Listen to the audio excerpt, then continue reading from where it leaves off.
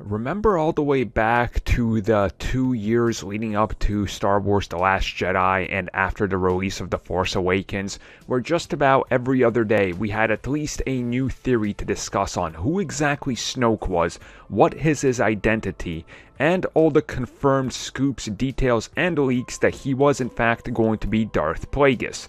When it came to The Last Jedi, Snoke ended up being, well, well, he ended up just dying. After revealing nothing. And as it turns out, Rian Johnson did not care at all about who Snoke was.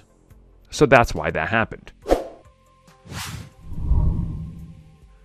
I know that right now, everywhere you look, Star Wars channels are all about let's retroactively hate on everything Disney but they seem to forget that at the same time, leading up into The Last Jedi, they were the same channels literally every day dissecting every possible theory on who Snoke was. All the hype going into the sequel was this big revelation that everybody built up in their mind of how Snoke was going to be Darth Plagueis or reincarnated Revan or ancient Sith powered by the crystals on Crait, and oh my god, it was everywhere. Mace Windu, I mean, you name it, it was probably a so, in an interview with USA Today with one of the authors of, uh, well, multiple books really, but also somebody that's worked on Star Wars, she talked about the approach to The Last Jedi and specifically Rian Johnson's approach to The Last Jedi.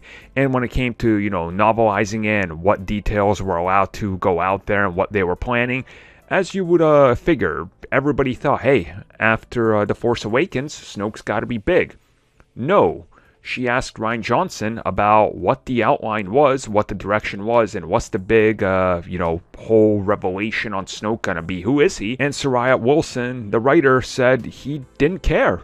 He just had no idea. He didn't care about the identity. It wasn't something that was interesting to him. Um, he didn't want to go into exploring this character that really wasn't the driving force of the story. Now, this quite clearly goes against um, what was done in the sequel and what the prequel was implying, but at the same time, you know, uh, we know that they approached those Star Wars movies very differently with three uh, different attempts with original directors and writers and all that.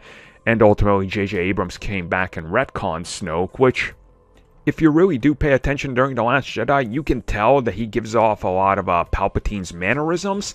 So who knows if that was intentional or not, or maybe Disney mandated it in there or something. I guess we'll never really know because the trilogy's behind us now. But yeah, Rian Johnson didn't care, which honestly, I think most people don't really care who Snoke was, other than floating head in jars. Yeah, that happened.